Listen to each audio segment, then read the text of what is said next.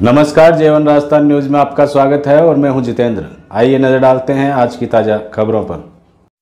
खबर, नागौर ज़िले के बोरावड़ से जहाँ शहर के जगदम्बा कॉलोनी निवासी जेतमल चंदेल के उप डाकपाल पद से बेसरोली डाकघर से शुक्रवार को सेवानिवृत्त होने पर डाकघर स्टाफ व विभाग के उच्च अधिकारियों ने समारोह पूर्वक विदाई दी। आपको बता दें कि जीतमल चंदेल ने अपनी बत्तीस वर्ष की गौरवमयी सेवा डाकपाल पद पर रहते हुए दी, जिस पर आज तीस जून को सेवानिवृत्त होने पर बेसरौली डाकघर में विदाई समारोह आयोजित कर डेगाना डाकघर के निरीक्षक बाबूलाल मीना डेगाना डाक अधिदर्शक चेतन प्रकाश के आतिथ्य में चंदेल का माला साफा पहनाकर व स्मृति चिन्ह भेंट कर सम्मान किया गया। इस अवसर पर चंदेल ने कहा कि आज मैं अपने परिवार को छोड़कर जा रहा हूँ, जिसका मुझे दुख है। उन्होंने कहा कि सरकार के आदेश अनुसार जो नियम है, उसके तहत सेवानिवृत्त होना भी ज़रूरी है। वहीं चंदेल को सेवानिवृत्त होने पर अधिकारियों, कर्मचारियों व ग्रामीणों ने शुभकामनाएँ प्रेषित की। इसके पश्चात चंदेल अपने ग्राम बोरावड़ स्थित अपने आवास पहुँचे, जहाँ पर उनके परिचितों ने उनका सम्मान करते हुए सेवानिवृत्त होने पर बधाई दी। इस दौरान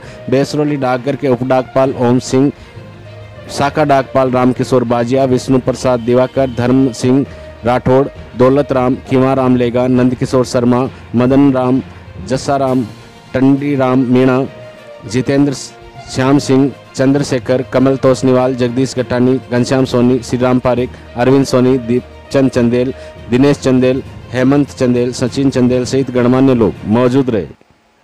बोरावड़ से ब्यूरो रिपोर्ट जेवन राजस्थान न्यूज़.